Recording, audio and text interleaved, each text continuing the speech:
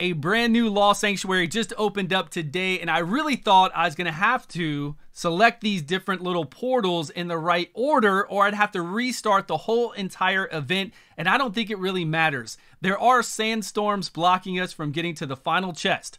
And to undo those sandstorms, you have to hit these portals that actually have colors. There's a yellow one, a green one, a red one, and a blue one. So looking at this, I was like, okay, I'm gonna do yellow first, green, blue, and then I'll hit red last. Or it could have had red in the beginning and then yellow, green, blue.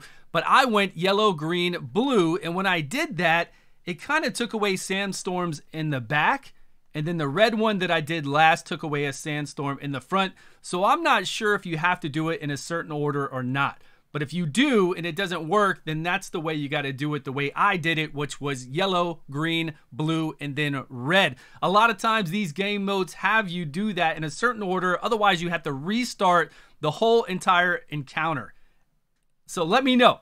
That's the way I did it. It did work. I got to the final chest. There is a recruitment scroll over here, hiding behind that palm tree. You don't need them though. We're going to do this with all epics.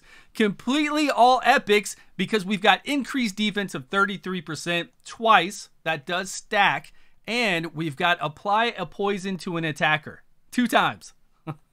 So whenever we get AoE hit, there are so many poisons applied to the attacker. It's it's really nuts. That's why I say if you have a Gangelo, very easy, but really all the units in this whole entire map don't have very many HP. Their HP pool, their life is not large. It's easy just to DPS them down if you want to. This last fight with Garel was pretty intense because Garel was hitting very hard. I can go over here now and select and get the rest of the treasures. I just didn't want to get that one to be in my artifacts. I wanted you to see what I did to beat the whole entire encounter. Defense, defense, apply a poison to the enemy. The rest were just uh, if you can get additional HP per turn and then increase turn always if you can take additional turns, especially if you're just going to DPS them down and you're not worried about slow playing with these poisons because it is a bit of a slow play. There is on the top right before you get to the boss a really unusual encounter with Mognar. Mognar will take infinite turns. He takes four or five turns, then he resets that four or five turns. He just keeps doing it over and over. There was no end to it. Even though we kept applying poison to him, he kept putting up a shield and he wasn't going down fast enough in life. But he just kept doing this. I don't know if it's a bug or what, but Magnar was just going ham with all these turns.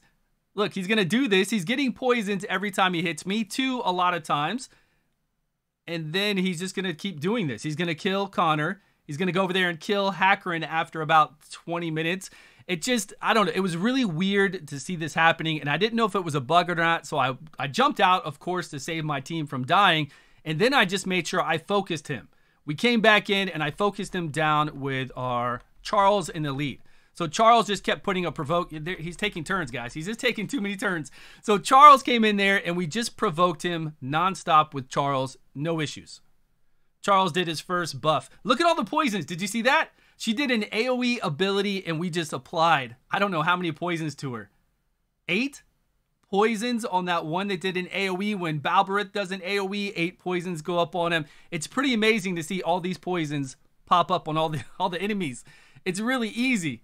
And we're doing it with a free to play comp. We've got Hackrin, we've got Connor, we have a Jacob on the bottom, I believe his name is, and Charles coming in here with that amazing provoke, amazing shield. Charles is the MVP to take out the Garel. The Garel at the very last boss hits very hard but doesn't heal himself. And since we were able to provoke that Magnar over and over, he wasn't doing his additional turns. Yeah, I just kept provoking him. He didn't do his additional turns, which is, it was really weird seeing that happen. So if you see that happen to you, make sure you get in there with a provoke, or if you're an end-game player, just nuke him down. He's gonna die really easy. We're gonna jump forward to the last fight. We know what happens here. There were no good ones for me to pick really spell-wise, so I got 20% additional attack. I wanted additional turns, or I wanted even more poisons, three stacks of poisons every time I'm hit instead of one. All these fights are really heavy with red heroes. So if you have a bunch of blue heroes like I do, bring those blue heroes in. If you have a strong Nat, bring Nat in to just AoE blow them up.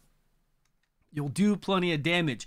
Now, I did focus on Brand here because I noticed Garel was doing an insane amount of damage. With Brand's buff, and Garel's ability to pierce and take multiple turns, it was pretty nutty. But Garel's not healing here. So I would have focused him. You could just keep provoking him. Again, Charles is just an MVP, right? He's an elite MVP for all these encounters. Just keep provoking Garel. Let them attack whoever they want to attack. We'll apply all these poisons that you see are stacking up. Man, if it's somebody who does an AoE ability like we faced Azrina earlier, Every time we hit Azrina, she does a counterattack and hits our whole entire team. She would just throw up so many poisons. Just like that. Look at all those poisons that just went all over him. It's pretty nice, but it is a slow play, but it means that anybody can get through this. The last one we did, we needed to get extra turns because they had high shields that we had to take down. We had to hit them multiple times in three rounds to take down those shields. On this one, I guess they're just giving us a way to get through here as free to play or as a low spender if you have a tanky team. Hackrin with the additional defense that he gives, plus all the HP buffs. Charles over here giving us everything that Charles does with his provokes, his big old shield that he does with his ultimate. And then we've got Connor with his heals or whatever healer you have. Any kind of healer you have, but look, Garel is doing damage on a blue unit he's hitting really hard. It's cool that he's attacking a blue unit because he can do a lot of deflection hits. I don't know why they're not attacking Connor right now, but they do after about 15 minutes change to Connor, which is odd. I don't know what's going on with the AI, but they do change over to Connor eventually, and Connor dies. So we're just going to jump forward because playing it this way is a very long fight. It really is. But I'm on full auto. I am doing a full auto. I could have walked away, made a sandwich, got some coffee, and then come back and possibly won. I did need to switch over to, I think. I think Brand was the right play to control Brand so he couldn't do his ultimate ability. The shields are a little annoying, even with all of our poisons going up. And then we needed to provoke Garel to make sure we kept him in line because he wasn't healing back when he counterattacks. Now, if you're having issues with this Garel counterattacking and doing lots of damage, try to make sure the fastest person on your team is a blue unit, and you can use that blue unit to hit Garel. Hopefully, he comes back and hits somebody like your Hackrin for not much damage on the counterattack. Not that he's healing from the counterattack, because he's not, but then he's not going to do a lot of damage. Other people can then attack Garel because he can only counterattack once per round, and you'll be fine. I'm going to jump way forward now. I think you guys get the idea.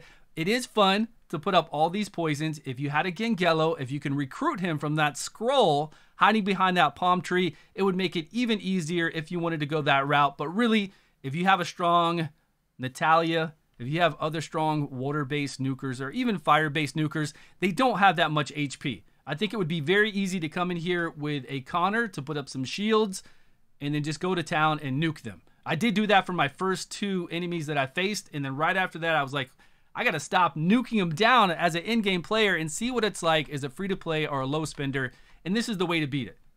I did lose. It's the last fight, so it doesn't really matter who we lose. We do have a shrine to recover somebody if we wanted to, or we could reset the whole entire encounter and go back through it with everybody back alive. And if, of course, if you lost too many right here, back out before everybody dies and you'll reset the whole entire thing. They'll be at full health, you'll be back to full health, and you can come back and try it again. But at times, Garel was really hitting hard. But then we just started provoking him, getting up even more poisons on him, and he just didn't have a lot of health. Dropped pretty quickly, and we beat the encounter. That's it, everyone. Let me know your thoughts on this encounter. I think it's still pretty fun. A lot of good rewards in there. They're going to put up new ones every week, they said. I'm looking forward to them. It's additional content, additional layers in the game for us to focus on, and it's free rewards. Thanks so much for watching. Let me know your thoughts on this down below and your experience with it. I do appreciate it. Please subscribe if you haven't, and I will see you all in a video soon.